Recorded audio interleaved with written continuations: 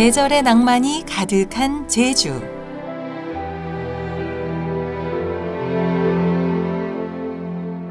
가을의 여유로움이 한창인 그곳에서 세 사람이 찾은 것은 오름 한가운데 오롯이 자리하고 있는 뜻밖의 현장, 서달 오름 학살터입니다.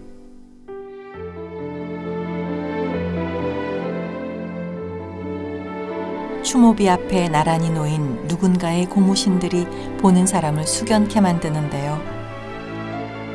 이데올로기의 대립으로 어수선하던 1950년대 억울하게 희생된 이들이 남기고 간 흔적들입니다.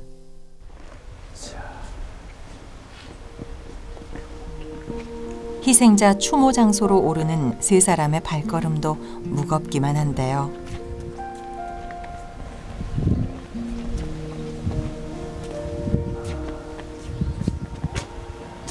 일단 기도를 하고 네. 추모비 바로 뒤편 오름 한복판에는 학살이 일어난 장소가 그대로 남아 있습니다. 이데올로기의 대립으로 엄청난 희생을 치른 4.3 사건도 거의 다 끝나갈 무렵이던 1950년. 예비 검속이라는 이름으로 또다시 무고한 시민들이 집단 학살되어 안매장당한 비극을 선명히 간직한 곳이죠.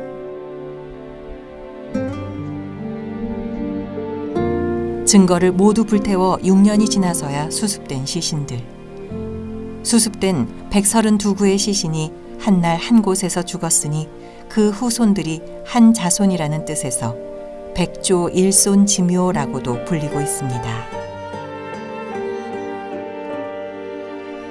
가는 길을 알리려고 벗어던진 고모신 주인들은 말이 없고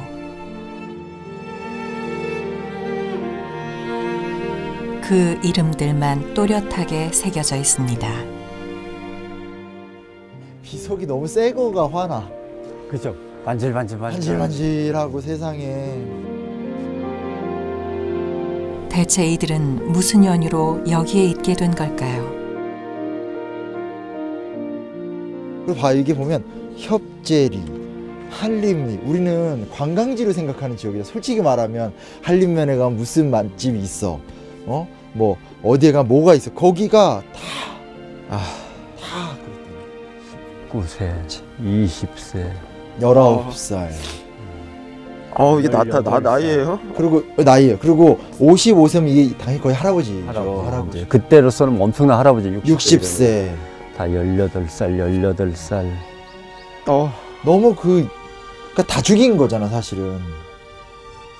18, 19 왜 이렇게 많아요?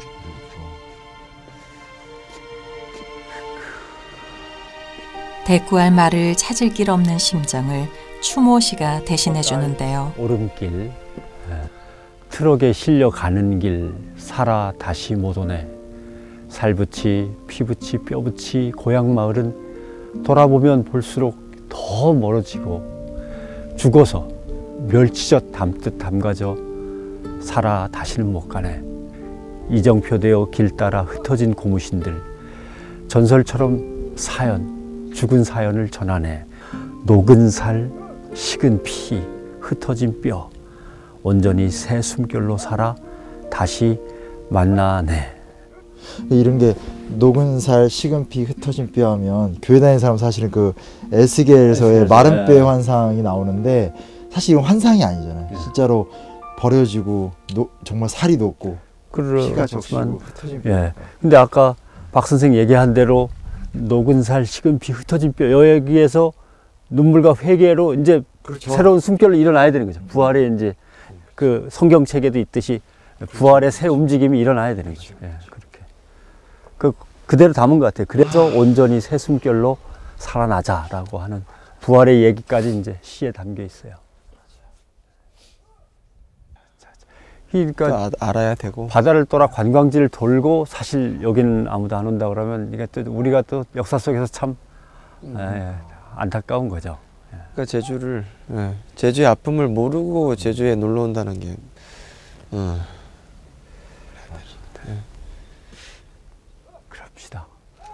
그럼 이제 현장을 한번 가봐야죠. 그래도 예, 그 웅덩이를 그래도 우리가 안 볼 수는 없어요. 아, 그걸 어떻게 봐요? 아, 자, 실제 이 바로 이 뒤 자리인 거예요? 실제? 예, 올라가는 이 뒤. 그냥 그 자리 그대로. 내게 언젠가 기회가 온다라면 유명한 사람, 잘 나가는 사람에 대한 기록이 아니라 아무도 기억하지 못할 사람들에 대한 에 대해서 기억해주고 붙들고 가야 되는 사람이 되겠다라는 걸 했는데 감사하게도 CBS에서 그 기회를 준 거죠. 그 고무신이라는 것을 절대로 잊을 수 없겠고 앞으로 어떤 식으로 해야 될지 모르겠지만 또 조남수 목사님도 그렇고 그런 분들을 생각하면서 극강의 노력을 해야 되겠다. 극도의 노력을 해서 할 수 없는 일을 해나가는 것이 후배로서 그러니까 더 좋은 시대를 사는 후배로서 선배들에 대한 보답 또 그렇게 비참하게 어, 죽어간 사람들에 대한 살아남은 자의 책임이 아닐까 그런 생각을 그러니까 너무 막 밀려 들어오니까 생각이 복잡할 수밖에 없었어요 솔직히 기억할 것이 너무 많은 이 세상에서 쉬이 잊히고 쉬이 덮여지기 쉬운 사건과 사람들. 이 깊게 패인 웅덩이가 지금도 여전히 아물지 않는 상처를 끌어안고 있는 제주의 속살을 그대로 드러내고 있는 것만 같아 더욱 가슴이 저며옵니다.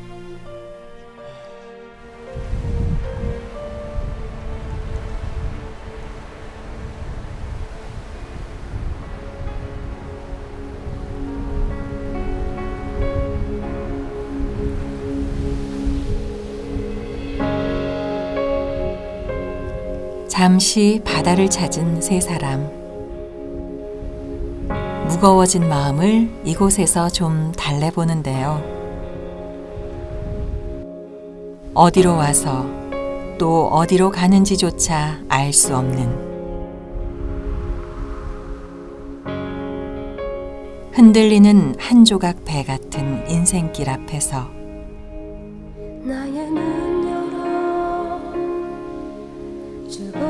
더욱 낮아진 마음을 추스르며 다시 길을 떠나봅니다.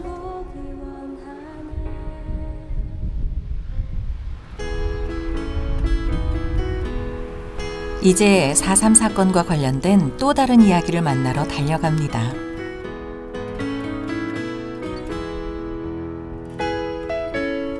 이곳은 제주 산남 지역에 세워진 최초의 교회인 모슬포 교회.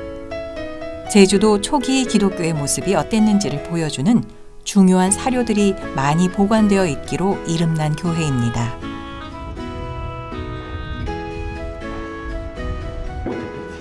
일본식 기와 약간 각도가 그러네요. 근데 원래 제주 기와가 더 크고 무겁게는 한다고 하더라고요 제주. 바람 때문에? 네, 바람이 워낙 세니까 근데 1950년 사진. 사진을 진짜 잘 해놨다. 아니 근데 이게 사실은 그때는 진짜 진짜 얼마 찍기 이런 거 원래 그래서 시키면 싫어하잖아. 이렇게 잘 해놨어. 완전 역사가 이렇게 쫙. 야. 오자마자 바로 찍는 것도 아니고 막줄 서고 또 네. 이러지고 뭐. 자. 여기 네, 사료 사료 전시. 아 교회에 사료 전시가 있는 것도 특별한 것 같아요. 아, 아, 예. 목사님, 예, 반갑습니다. 목사님, 예, 아유, 반갑습니다. 안녕하세요. 반갑습니다. 아, 네.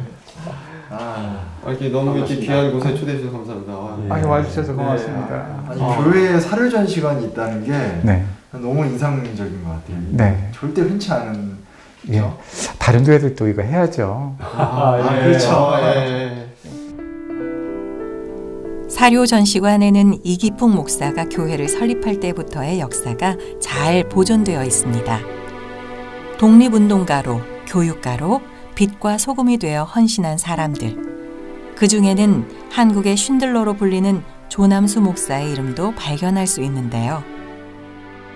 그때 그 기록을 한자 한자 써내려 갔을 사람의 그 작업을 생각하니까 근데 그게 내 눈에는 행정적인 완벽성을 위해서 써내려 간 게 아니라 정말 간절한 믿음과 교회를 사랑하는 마음으로 이렇게 펜글씨를 갖다가 정성껏 쓴 게 이렇게 쭉 눈에 들어오더라고요. 그래서 그 당시에 가졌을 믿음의 선배들의 그 어떤 간절함 내지는 절박함 이런 것들이 그냥 그 문서나 사진에 확 드러나더라고요. 그래서 정말 그때가 제일 좋았어요. 네. 하, 이렇게 누가복음이 한 권이고 빌립보서도 한 권이고 예레미 한 권. 하, 예전에 이렇게 공부를 했어요. 예. 오래된 성경책에서 세월의 흔적이 묻어납니다. 그 옆에는 빼고 기눌러 쓴 설교집이 있는데요. 오늘의 주인공 조남수 목사의 흔적입니다. 그는 어떤 목회자였을까요? 그러니까 조남수 목사님이라고 하는 분은 제주도 출신입니다. 4.3의 어려움이 있었죠. 제주도 하면.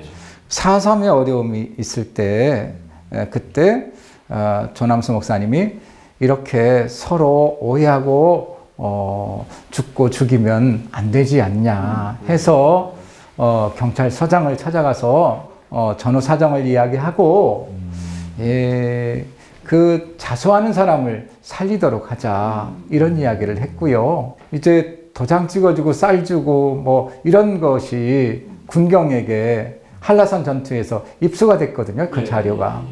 그러니까 빨갱이로 몰리면 죽, 수- 죽을 수 있잖아요. 어, 그렇기 때문에 아, 자수하면 이게 잘못하다 큰일 나겠구나 이렇게 생각하고서는 자수하지 않아 아무도 자수해라. 자수해서 만일 어, 다칠 경우에 내가 할복 자살이라도 하겠다 이렇게 얘기했다 그래요. 어, 그리고 이렇게 또 이렇게 얘기했대요.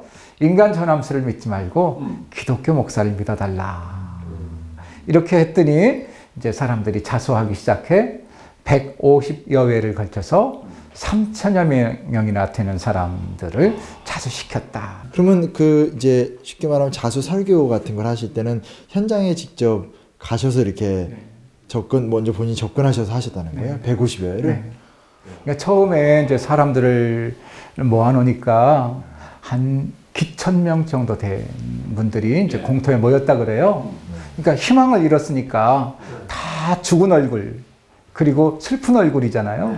그래서 조남 어, 조남수 목사님이 이렇게 보시면서 눈물까지 흘리시고 이렇게 하다가 어, 이제 좀 높은 데 가서 그렇게 자수하라고 어, 이렇게 했더니 여자분 할머니 아, 여자 할머니 한 분이 자수하기 시작하니까 덩달아서 이제 두세 명 자수하고 이제 그러면서 이제 힘을 얻어서 어, 자수 강연을 하니 에, 수십 명씩, 귀십 명씩 그래서 이제 150여에 걸쳐서 네. 희망을 잃어버린 사람들을 위해 죽을 각오로 십자가를 진 목사님. 사람들은 그분을 통해 죽으리라 하면 살겠고 살겠다 하면 죽으리라 하신 예수님의 사랑을 보았습니다. 제주의 어떤 복음을 뿌리내리고자 하는 의지, 더불어서 제주 사삼이라는 아픔 속에서 어떻게 보면 한 인간이, 그러니까 어떤 목사님을 떠나서 한 인간이 자기가 할 수 있는 모든 것, 그러니까 아무 권력도 없고 아무 힘도 없는 한 인간이 사람을 살리기 위해서 몸부림쳤던 한 순간을 봐서요. 바로 그런 분들의 헌신의 숨결을 통해서 우리가 지금 이 길 위에 서 있을 수 있음을 다시금 깨닫는 시간입니다. 그 뒤를 이어 우리는 어떤 길을 걸어가야 할까요? 초등학교, 중학교, 고등학교, 대학교 회사에 입사를 하고 지금까지 걸어오면서 내가 어떤 길을 택해서 어떻게 어, 길을 가고 그 길에서 무엇을 얻고 무엇을 성취하겠다가 정해져 있는 그 길이라고 생각을 했는데 그 제주에서 순교자들의 길을 따라서 걷다 보니까 길은 날씨 같더라고. 그러니까 막을 수가 없어요. 내일 눈비가 올 건지, 오늘 비바람이 몰아칠 건지, 아니면 며칠 있다가 쨍쨍 갤 건지에 대해서 내가 조절할 수 있는 게 아니에요. 그냥 운명처럼 나한테 다가오고 맞이할 수밖에 없어요. 그 운명의 길을 맞아들이는 태도가 무엇일까라는 걸 제일 고민하게 됐는데 그 선교사들을 보면 아무것도 하지 않아. 그냥 다 내려놓고 다 벗어 제낀 채로 온몸으로 그날 오는 운명은 그날 맞이하는 거죠. 오늘 저 험한 곳으로 가라. 내일은 너 죽어야겠다. 뭐가 오든 간에 거부하지 않고 그냥 이제 순례자들의 두 번째 밤을 책임질 숙소에 도착했습니다.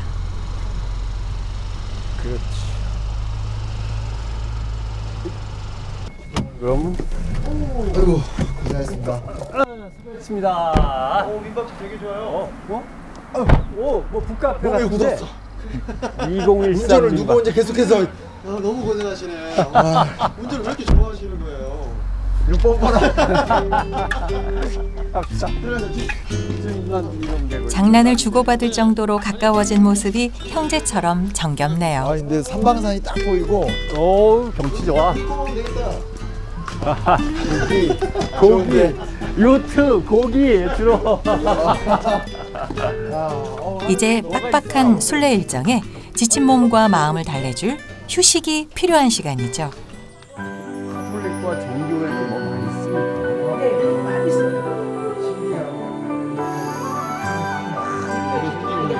해음은 이제 안 했던 게 잠시 후 세 사람을 거실로 불러 모은 의문의 향기가 있었는데요. 모두가 궁금한 그 정체는 아 이거 봐요 향기. 엄청 이제 나잖아요 예. 향기 얼마나 아, 좋은지 지금- 몰라요 보세요 유향을 이제, 이제 피우시는 튀고 상황인 거죠? 예. 이게 한번 주세요. 무슨 자. 연기가 아니에요 뭐가 타는 연기가 아니라 이게 진짜 향이죠 그 예수님 태어났을 때 예? 이런 거 어, 좋은데? 예. 유양 본 적 있어요? 아, 저 처음 봐요. 아, 예, 처음 예. 전설 속의 단어가 아, 그러니까 이게 신기하죠. 어떻게 만들어진 거죠? 그러니까 봐도 되나요? 어, 프랑킨센스라고 순수한 이 나무에서 예. 어, 채취하는 거예요 아 나무에서요? 나무에서 상처를 줘가지고 음, 그러니까 음, 그죠, 우리나라 유향- 유향나무에서. 쉽게 어. 어, 유향나무는 이제 우리나라 송 솔, 솔나무의 송진 같은. 같은 유향나무가 그러니까 프랭컨센스 어, 나무에서 이제 저기 상처를 내면은 이게 바로 동방 박사들이 아기 예수의 탄생을 경배하며 드렸다는 그 유향이로군요. 거의 없어요. 너무 좋은 녹는구나. 이게 굉장히 근데 이게 구하기가 양- 쉬운 게 아닌데 아, 조금씩 거기서- 나는 거니까. 거기서 있었으니까. 아, 예. 거기 사시다 오신 거기서 거구나. 7년을 살았기 때문에 네. 조금씩 조금씩 올 때마다 조금씩 가지고 온 거죠. 이런 걸로 하나씩 또 팔기도 하고. 거기서는 이게 현지에서 팔아요? 아우 현지에서 아주 귀한 현지에서도 약재. 예수한테 바친 유향은, 유향은? 높은 분한테 바치는 제의 제사의 뜻이 많은 거고 몰약은 주로 이제 방부제나 썩지 말거나 아니면 예, 치료약으로 그렇죠. 쓰니까 그 두 가지가 하고 이제 황금하고 세 가지를 요게 좀 색깔이 이렇게 하얗고 하면 좀 더 고급인가요? 예예. 저저 저기 좋은 질이 좋은 거를 보고 그리고 이제 저기 여기 진하면 좀싼 거고. 예. 거기 아니, 가서 뭐? 살다가. 무엇보다 이게 상처를 내서, 내서? 나무에서 상처를 치유하는 액이 나온 거잖아요. 그러니까 나무의 상처를 치유한다는 그 본질 자체도 사실 우리의 상처를 치유하는 어떤 그런 예, 의미도 그래서, 있는 것 같아요. 어, 그 향기 나는 사람으로 예. 어? 어떤 그러니까 치유의 여러- 의미가 있는 것 같은데 치유 예, 있는 것 같아요. 치유나 그리고 또는 그왕 또는 왕의 왕 이런 분한테 드리는 어떤 네.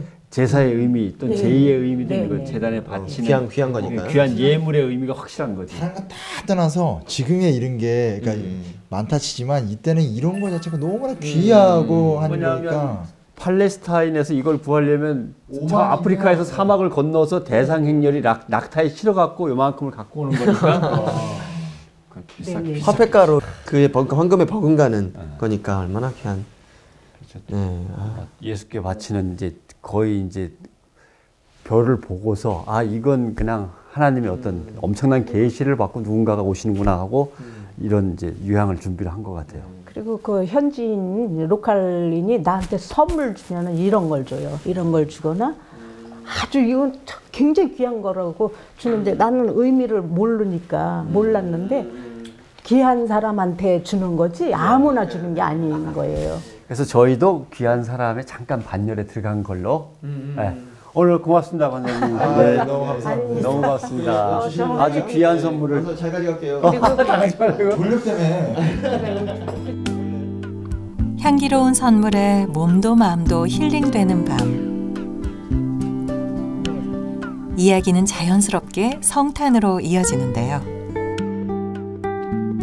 날씨도 추운데 안에 맞아요. 어, 얘기보다는 어, 이렇게 슬슬 어. 근데 이제 어린 시절에 성탄절에 네, 네. 그 산타클로스 오는 걸 기피고 내가 잡아서 아, 잡아서 아 눈앞에 보겠다. 어, 야곱이 천사와 씨름을 하듯이 아, 내가 산타를 한번 제압해 보겠다 어린 마음에 몇 살 때? 아 그러니까 뭐 유치원 때 정도는 되는 거죠. 그러니까 졸면서 왔다 가나 뭐 이런 거 있잖아요. 근데 가끔 영화에도 이제 어린애들이 그런 장면이 나오긴 하지만 그게 몇 살까지 갔는지 잘 기억이 안 나요. 아마 초등학교 한 2, 3학년 때는 깨지지 않았을까 싶은데 대개는 지금도 아이들은 아마 성탄절 하면은 예수 그리스도가 아니라 산타크로스 아마 산타크로스 기념일이라고 아는 애들도 있지 않을까? 솔직히.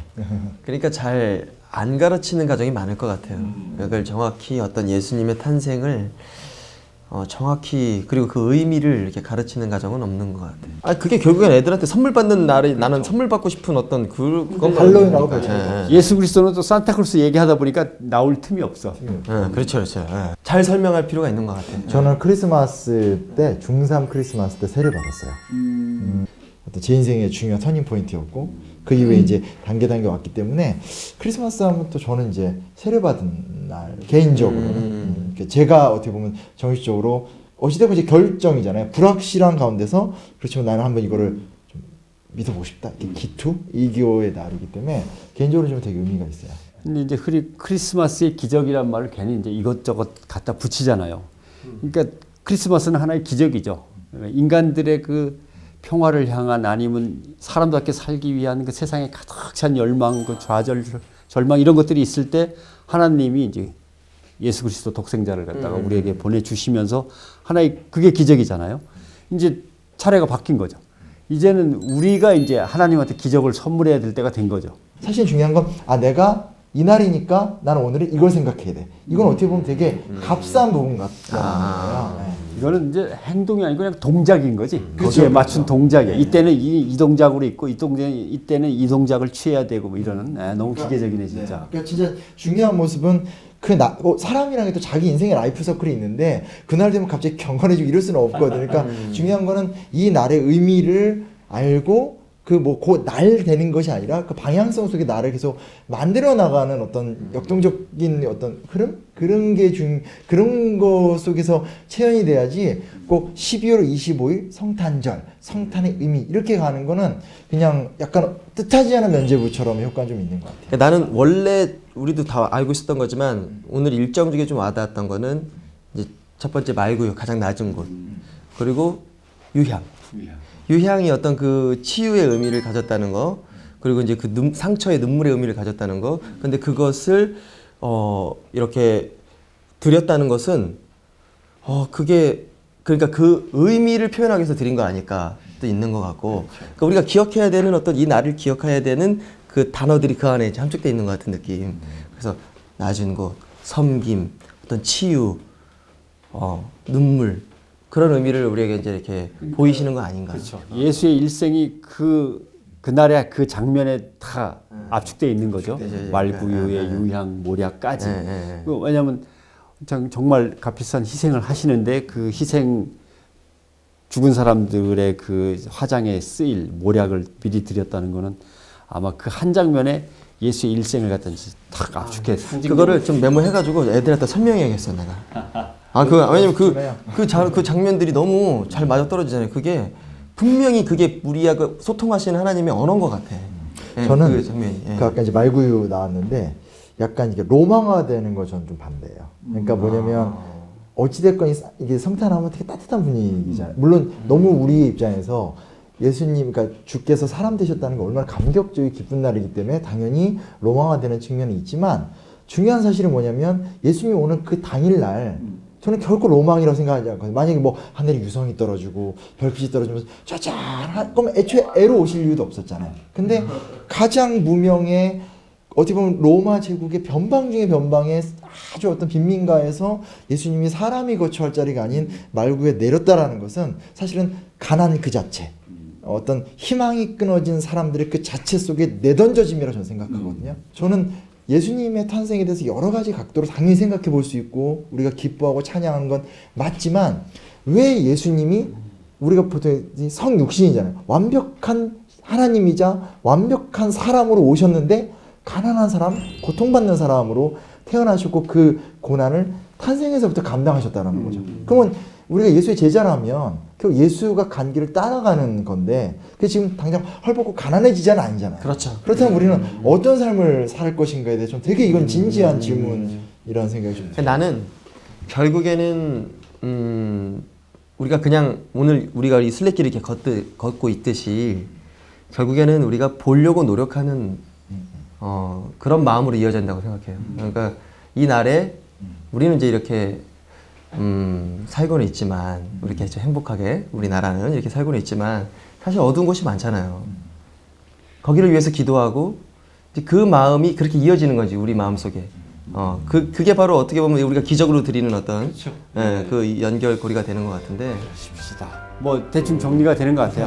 음. 하나님을 위한 나그네, 그리스도를 쫓는 나그네.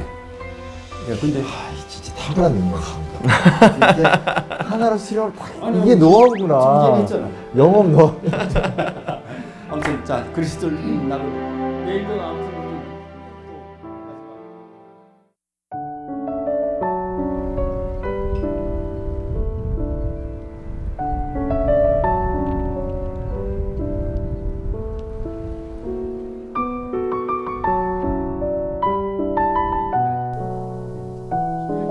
마지막 날 다시 세 사람이 길 위에 섰습니다. 여기 교회가 있네요. 어. 아니 교회가 너무 어 근데 차로 가면 그냥 지나치겠는데 너무 좁아. 이 1인 교회예요? 뭐예요? 그러니까 필그림스 채플이라고 했으니까 음. 순례자들을 위한 처소인. 아, 이제. 우리 같은 이제 순례자들을 환영하는 어떤 아니 문이 좁은 문인데 정말 좁은 문이야. 뭐 나도 숙여야 돼. 너무 큰데 옆으로 못 들어가게 다 이렇게. 난 너무 아나제나 너무 제가 많아. 겸손하게 허리를 숙여야만 들어갈 수 있는 좁은 문을 통과하면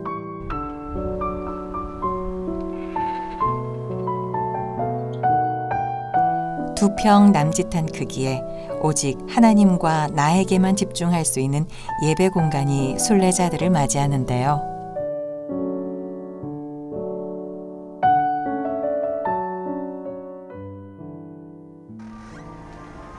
번호키를 우와. 안도 정말 우와. 야, 아이고야. 정말 한 평 한 평. 네, 세 명까지는 가능하겠어요. 아, 네. 딱. 저못 들어갈 줄 알았어요. 아, 이게 냉장고랑 이걸 구비를 하셨네. 어, 여, 열어도 될 것 같아. 살짝 살짝. 냉장고도 작은 냉장고. 죄송합니다. 살짝 열어보겠습니다. 아, 이게 마음껏 잘 안 보여요. 예. 오, 뭐가 있어요? 아 생수. 물이구나. 예. 오, 그래도 welcome이에요, welcome. 가득 네. 채워 놓으셨어요. 이제 아니 에어컨도 있어요. 다 있어요. 아까 그래서 쉼터라고 돼 있는 뜻은 그런 뜻인가 보네. 쉴 그러니까, 때는 예. 좀 쉬라. 그냥 기도처가 아니라 예. 정말 좀 교회네. 작은 예. 교회. 약간 대접을 하시는 느낌도 있는 거예요. 그렇죠. 이렇게. 정말 교회네. 내부에는 이곳을 다녀간 사람들의 사연이 방명록 켜켜이 가득 쌓여 있습니다. 누구나 들러서 기도하고 예배할 수 있는 이곳을 벌써 7만여 명이 다녀갔다고 하는데요. 길 위에서 묻고 답한 수많은 사연들이 궁금해집니다. 그러니까요. 예, 예. 40건이 넘게 현재까지 와. 있다고. 네. 그이 교회는 이 마을 교회가 아니고 전국 한국 전 한국인의 교회예요. 보니까 뭐 얘기 들었는데 중국 공산당 간부께서도 여기 오셔서 결혼하셨다고. 전 지구인의 교회네 가장 작은데. 벨기에와 일본에서도 오셨다고. 예, 이거, 가장 큰 교회지. 예, 뭐 예. 재미난 사람들 많네요. 정신없이 제주 여행을 하다 이곳에 와서 마음의 편안해짐을 느낍니다. 감사합니다. 아, 예. 예. 정신없이 지내다가. 그래도 크리스천인가 봐요. 하나님은 사랑이시라. 이 밑에 쓸 줄 아는 거 보니까. 아. 네, 아, 이게 좀, 음, 주님, 우리 아빠 천국으로 인도하여 주셔서 감사합니다. 아이고 참. 아이고, 아빠한테 편지 썼네요. 고통 없이 행복하게 주님 옆에 편안히 잘 계시죠? 아빠 사랑해요. 미안해요. 고마워요. 너무 감사해요, 주님. 사랑하는 딸 미연. 좋겠다. 아이고. 이고. 이게 너무 진짜 어마어마한 공간이에요. 이게 하늘과 소통하고 아빠하고 소통하고 그러니까 그러니까 뭔가 보통 교회가 어. 우린 이거 하니까 와서 봐라라는 음, 식이잖아 그치. 사실은. 네. 근데 여기는 그냥 우리의 공간을 이렇게 준 거잖아 사람들한테 음. 믿는 사람이 믿지 않는 사람들이 그러니까 와서 오히려 그 제약 없는 상태에서 더 자기 음. 마음도 열고 믿는 사람 믿는 사람들대로 음. 자기 이야기를 또 안 믿는 사람 안 믿는 사람대로 쉼이나 기쁨을 또 얻어가는 음. 지나가던 나그네들이 교회를 계속 만들어가는 거죠. 음. 여기에서 이제 스쳐 지나가면서 계속 이 교회를 만들어가는 게 이거 이제 나중에 이 교회 100년 뒤에는 엄청난 그 아. 이야기의 그 명소일 거예요. 전 세계 지구촌에. 그러니까 비시, 비신앙인이 35%입니다. 어. 35%나 여기를 그냥 지나가지 않고 방문을 한다는 거는 이게 눈으로 봤을 때도 그냥 미학적으로 뭔가 울림이 있다는 거예요, 이게 딱. 그냥. 예. 이 사람 난 크리스천이었던 것 같아. 아, 예. 그리고 아픈 이별이 있었던 것 같아. 아, 예. 나는 지금 제대로 가고 있는지. I miss you. 아 어, 밑에 또 이런 게 나와 어, 어, 저 어, 위에밖에 못 봤어요 이 질문은 우리한테 탁 지금 제대로 가고 있는지, 그럼 어디로 가고 싶어 하는 건지, 뭐 이런 질문을 던지네요. 아, 저는 제가 지금 살고 있는 그 이 아빠로서의 삶이 사실 그 가수로서의 인생은 같이 가고는 있지만 음, 이 가수로서의 인생이 어떤 순례길이다라는 느낌을 받아본 적은 없어요. 음. 근데 이 아빠로서의 인생이 너무 강하게 내 인생에 이제 다 들어왔을 때 음. 아이가 늘어나면서 그 아내와 계속 협력하면서 더 점점 이게 나의 삶을 완전히 둘러쌀 때는 붙잡을 거는 이제 하나님밖에 없는 거예요. 음. 그래서 이거는 내가 진짜 하나님과 진짜 동행하는 순례길이 되겠구나라는 작정을 한 거죠. 음. 음, 내가 다른 거 없고 정말 하나님 붙잡고 너희들 키워냈고 이 가정 이끌어 갔다라는 음. 그 확신만 좀 아들한테 심어주면 그거면 된다라는 확신만 심어주면 이 순례길은 뭐 음. 내가 또 맡은 순례길을 잘 살아낸 거 아닐까. 뭐. 정말 중요한 부분인 것 같아요 음. 특히 그런 아름다운 가족 또 아빠다운 아빠 이런 이야기를 만들어낸다는 게 음. 우리 사회에서 또 남성 사회에서 적대적인 게 많은데 음. 큰 하나님의 어떤 뜻을 음. 그 옛날에 그 스타트에서 아, 자꾸 예, 자꾸 그때 얘기하지 마세요. 점점 화제는 각자의 인생길에 대한 이야기로 흘러가는데요. 어느덧 서로가 속마음을 터놓을 수 있는 정도가 됐습니다. 다른 각도에 모르지만 저도 좀 비슷한 것 같아요. 제가 어떻게 하다가 어, 이렇게 기독교인으로서 역사 이야기를 음. 또 사회적 이야기를 할 수 있는 역할이 전혀 예상하지 못했던 거예요. 대단하죠. 그래서 물- 물론 최선을 다해 생각하긴 하겠지만 순례라는 것은 예상치 못한 길을 음. 가는 거잖아요. 그러네요. 사실 아. 잠시 쉴 수는 있고 온 길을 되돌아볼 수 있지만 갈 길은 사실 모르잖아요. 그래서 물론 이게 변선배님 같이 정말 이렇게 제 입장에서 롤모델 같은 분이 옆에 있어서 너무 좋긴 한데 그래도 어쨌든 내 인생 내가 살아야 되는 건데 그런 분에서 앞으로 더 열심히 해보고 싶은 마음도 있고 하나님을 의지하지 않고 사실은 음. 살수 없는 것 같아요. 아니 순례길에 정의가 나오네요. 하나님의 일하심을 따라가는 길. 그렇죠. 하나님의 일하심을 따라가는 길. 배워가지고 또다 키워드 잡고 내가 제일 고민이 내가 아까 어. 박천 씨가 딱 지적해 준 거 그거죠. 그러니까 음. 맨 처음에는 선교 방송의 기자가 됐으니까 선교 방송 네, 선교 방송의 기자가 됐으니까 갖고 있는 신앙 양심과 저널리즘을 묶어내는 어, 그 일상 속에서 이제 쭉 온 거 아니에요. 근데 끝났어. 음. 내년이면 끝나. 어떻게 보면 새로운 홀로서기를 그렇죠. 또 어, 지금까지 해왔던 작업에 이어지기는 하겠지만 어, 뭔가 이렇게 틀은 바뀌는 이런 이제 기로점에 서게 되는데 어, 요번에 다큐를 이렇게 쭉 돌면서 이 로드를 돌면서 떠오른 거는 그 내가 어떻게 크리스찬으로서 역사를 갖다 이야기하면서 그런데 나도 결국은 하나님의 이야기꾼으로 그동안 보고 들은 것, 느낀 것, 생각한 것들을 계속 사람들한테 예, 음. 예, 이야기를 풀어가는 스토리텔러로서 이제 남은 생이 남아는 있을 것 같아요. 그게 이제 어디에 소속돼서 어떤 뭐 모습으로일지는 모르지만 그래서 꼭 하셔야 된다고 저는 생각.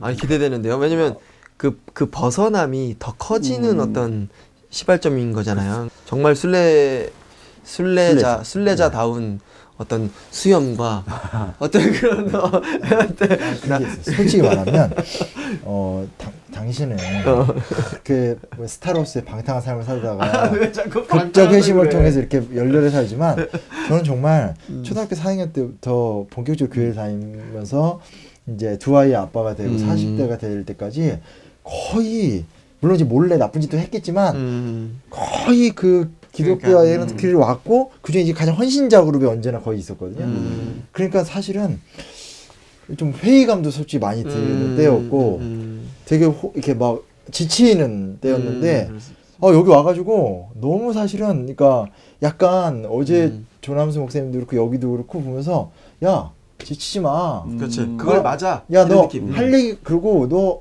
할 얘기 되게 많아. 너, 그러니까 내가 너한테 좀 할 얘기 많아. 이거 봐도 얼마나 막 근데 제가 보자 이렇게 예, 예. 막 지쳐 있다가 어디 가서 이렇게 어 가서 이렇게 막 뭐, 뭐 목사님 얘기나 막 흥분해서 막 음. 그게 그게 연기가 아니라 그러니까 조- 음. 정말 피곤하고 사실은 전체적으로는 사회적으로 나에게 요구되는 게 있으니까 내가 책임감 있게 하지만 사실 굉장히 마음으로 지쳐 있는 타이밍이었거든요. 음. 근데 갈 때마다 이렇게 음. 그러니까 약간 강제로 야 정신 차려 그렇지 용환아 너 할 거 많아 막 이런 확신 사실은 확신 받는 느낌 예, 좀 음. 그런 게 있어요. 그래서 예. 좀제 개인적으로 되게 좋은 아 예. 난 오히려 CBS 기독교 방송에 있을 때는 따뜻한 모닥불도 있고 크진 않고 화려하진 예, 않지만 예. 주변에 너무 좋은 동료들도 있고 따뜻한 예, 돌봐주는 많은 이제 청취자들도 예, 있고 하던 그쵸, 그쵸. 그 모닥불을 이제 자리를 일어서야 되는 거죠. 그리고 이제 횃불을 들고 그리고 이제 어둠 속으로 이제 다시 아. 다시 이제 또 다른 이야기꾼의 이제 순례가 남아 있는 거예요. 근데 어디로 가고 누굴 만나게 될지 이제 잘 모르지만 더 어려울 수도 있겠죠. 너무 중요한 것 같아요. 왜냐면 제가 옛날 김구 선생님 길 읽을 때 예. 눈 덮인 들판에서 아. 아. 시죠 그거 길을 잘 걸어라. 헷갈리지 말고 예, 왜냐면 뒤에 갈 후학이 네 길을 보고 가니까. 좀또 뒤를 보면서 자기 길을 자기가 찾아야 아니 너무 기대가 전 너무 기대가 아, 돼서 한번, 해봐야죠. 예. 아이, 응원하고 기도하겠습니다. 자, 고맙습니다. 그럼 또 순례길을 나서 보십시다. 예. 가시죠 가시죠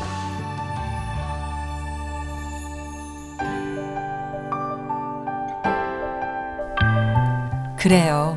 오늘도 인생길은 피할 수 없습니다. 비가 오면 비를 맞고 해가 내리쬐면 내리쬐는 그 길을 걸으며 맨바닥 같은 세상에 온몸을 내던져 주어진 십자가를 지고 갈 뿐.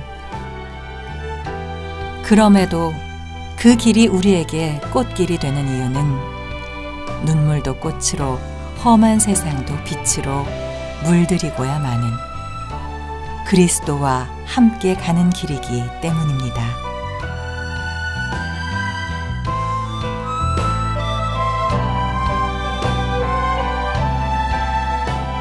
그래서 우리는 오늘 또다시 나그네로 오신 예수 그리스도를 좇아 길 위에 등불 되신 그분의 나그네가 되어